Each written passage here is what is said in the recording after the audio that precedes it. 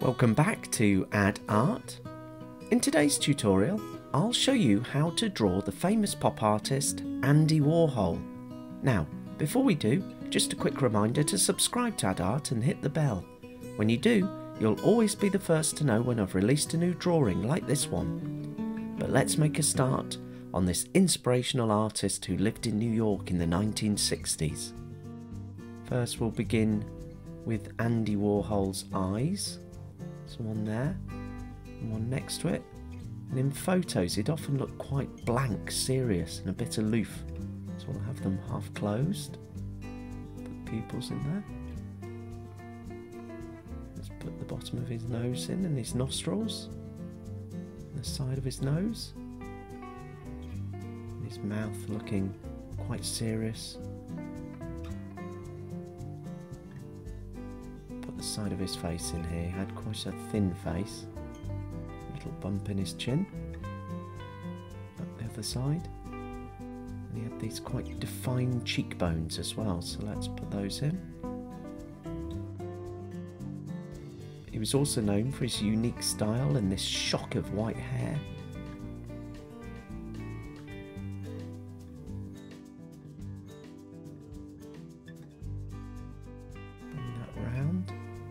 Underneath.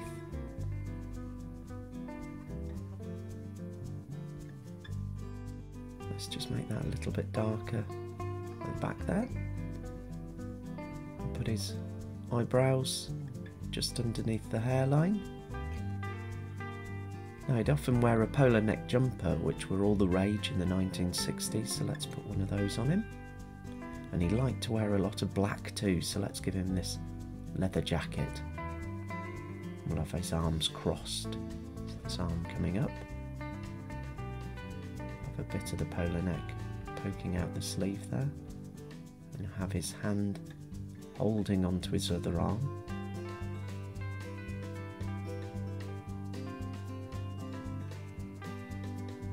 Bring the other hand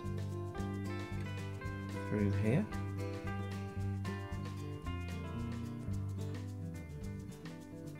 Off this leather jacket.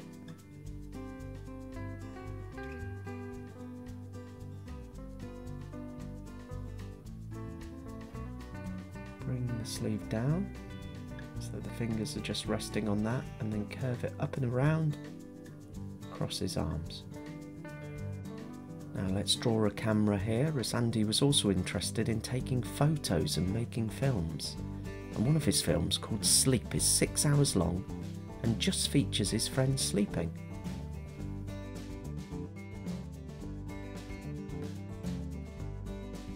Have that attached around his neck. Bring it under his arm and come up, up the other side there. Just bring the edge of the jacket up, put a pocket in, and do the same the other side.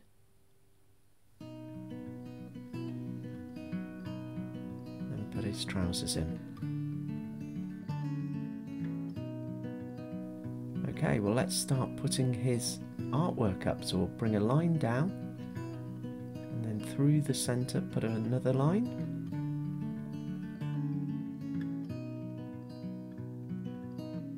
We'll halve those boxes on either side.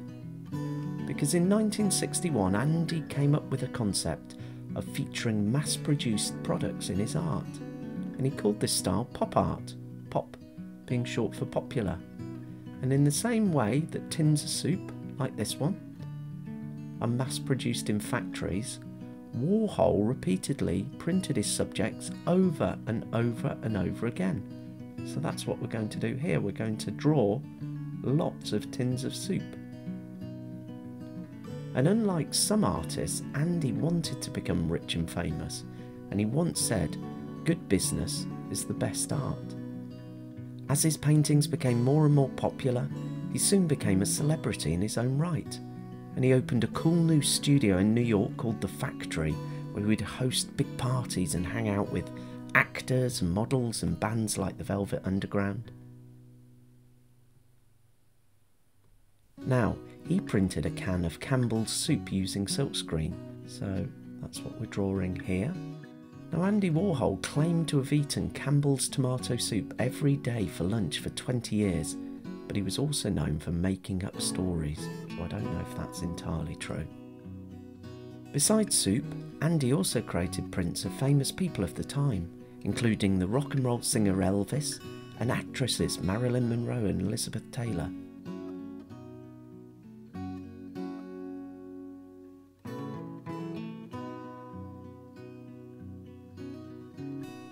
Campbell's soup had this little logo in the middle, so I'll bring a line across.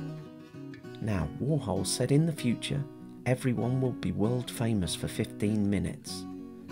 So I'm going to write add soup on these. On this one, art soup. So we have add art soup. But you could write your name on them.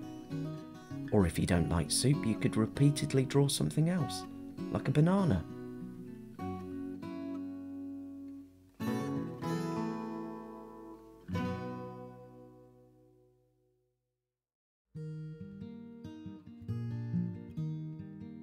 And when Andy was printing his pictures, he'd often use really bright colours to help the images pop.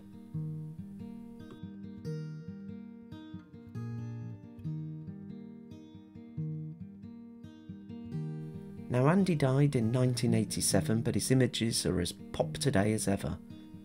One of his paintings, Silver Car Crash, sold for an incredible $105 million.